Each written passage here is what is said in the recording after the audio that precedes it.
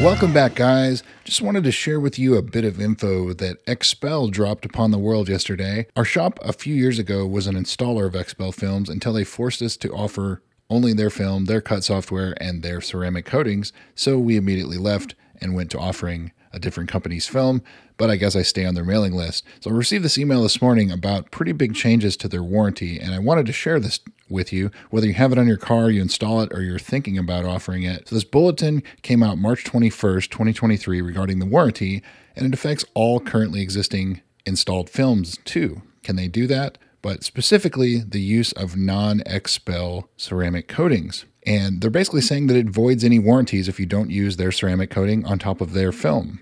So ceramic coatings have been on the market 10 plus years now. They've only just now started doing this, maybe within the last year or so, but now it's in writing. So I get it from the company's point of view.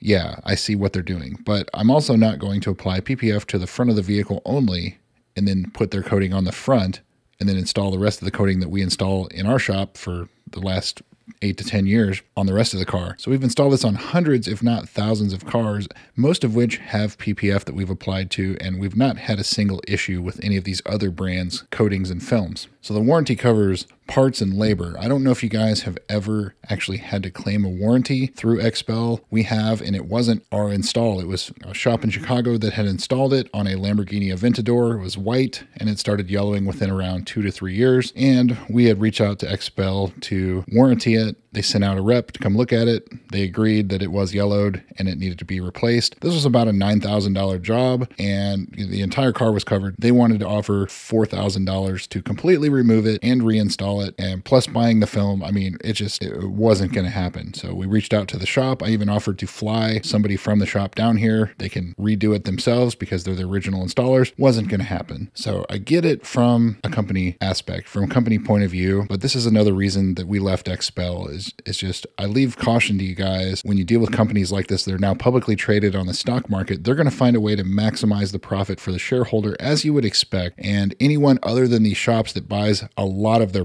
product, the installer be damned, they're the ones that get screwed and always seem to be the ones that have issues. But they reward, of course, the people that buy pallets of their product on a monthly basis. And, you know, you get to go to their suites at sports games and things like that. I just wanted to share that with you. Take a minute to look at the XPEL website and warranty this new warranty bulletin that they have just released. Just a little info out there that you guys want to maybe keep in mind if you're installing other ceramic coatings, especially if you're an XPEL installer. But again, we've we've we've installed other brands' films been ceramic coating on top of them for many years and not had an issue. So I know why they're doing it, like I said, but buyer beware. So thanks again for watching, guys, and we'll see you soon.